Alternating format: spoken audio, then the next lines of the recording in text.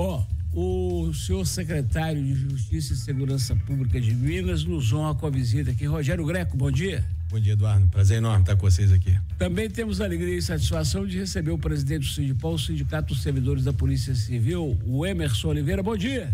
Bom dia, Eduardo. Bom dia a todos que nos ouvem e nos assistem. Eu quero mandar um abraço para um policial polêmico que todo mundo fala bem, o outro fala, bom, metade odeia, metade ama. Tem muito tempo que eu não vejo.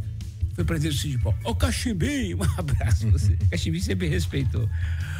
São 10 horas e 6 minutos. O assunto aqui hoje, básico, do convite é cigarro nos presídios.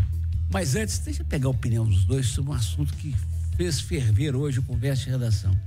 O Emerson, na sua opinião, enquanto policial civil, o fato de a Polícia Militar ter um regramento que prestigia aquele policial que multa mais e que tira pontos para efeitos de promoção e elogios e tal na ficha, aquele policial que vai para uma ocorrência grave e não prende. Isso é estímulo ao trabalho ou é um perigo para o policial e para a sociedade? Eduardo, eu penso que se o, o, o indivíduo está errado, ele tem que ser punido. Ele tem que ser multado, ele tem que ser preso. Não pode haver distinção. Eu acho que se existe pontuação, na minha visão, fui policial militar, inclusive, fui soldado da PM.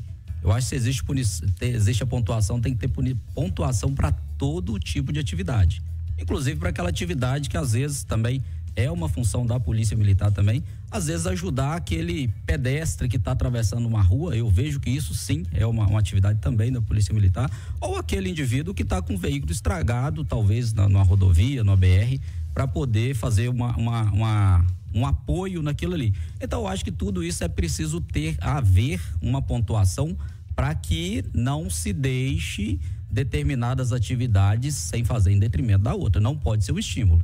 Ô Emerson, eu que acompanho as delegacias e os quartéis há 50 anos, estou convencido disso hoje no Conversa Oração. As polícias perdem muito quando não se privilegia o operacional. Aquele cara é animado, trabalhador, como quer tratar todo mundo do mesmo jeito. Eu estou errado.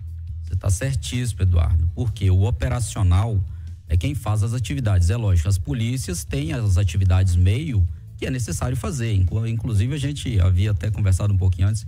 Eu estava falando desse modelo de polícia que a gente tem. Infelizmente, a gente precisa repensar ele, aproveitar que o secretário Rogério Greco está aqui. É preciso repensar os modelos de polícia que a gente tem, secretário. Por quê? Às vezes se privilegia, se privilegia aquele indivíduo que às vezes nunca esteve no operacional e não conhece, e eu não estou falando que o problema é do indivíduo, mas o problema do modelo de polícia. E aquele que está ali no operacional trabalhando, a gente tem uma máxima na polícia, né? Tanto a polícia militar quanto a polícia civil. estou na polícia civil agora há 15 anos. Então sempre tem uma máxima. Quem trabalha muito acaba errando e é punido.